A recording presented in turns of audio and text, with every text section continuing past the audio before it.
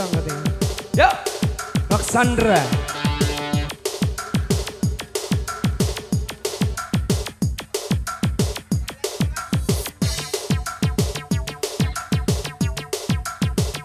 Spesial buat kakaknya pengantin Teh Adi.